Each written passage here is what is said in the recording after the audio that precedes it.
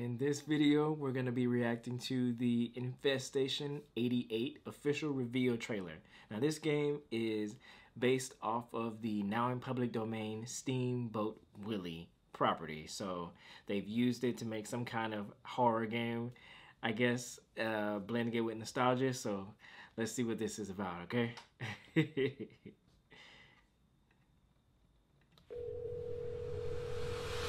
Hey there. Thanks for coming out. Oh. Got a bit of an infestation here at the storage facility.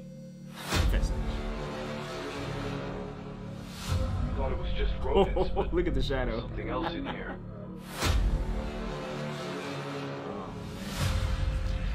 Oh. are oh. everywhere. Whoa. Tried to take care of it ourselves, but things have escalated. Oh, goodness. The exterminators are our last hope.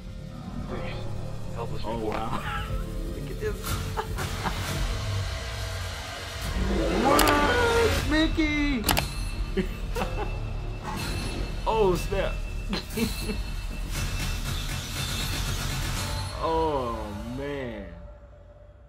Wow. That's so crazy.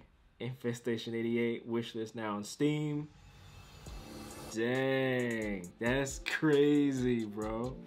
So they're gonna have Steamboat Willie, Infestation, you know, horror. This is crazy. This is crazy. Crazy good. Crazy good. Um, I love I love how they just could not wait until this stuff came out to actually do these adaptations.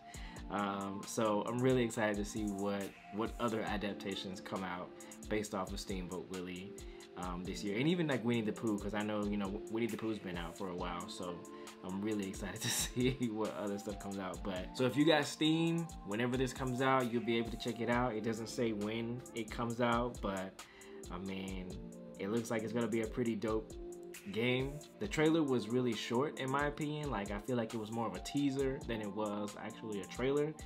But I feel like it gave just enough for what, you know, for what the game offers. Um, you know, the perfect blend of like, you know, a, a little bit of a tease, but not giving away too much.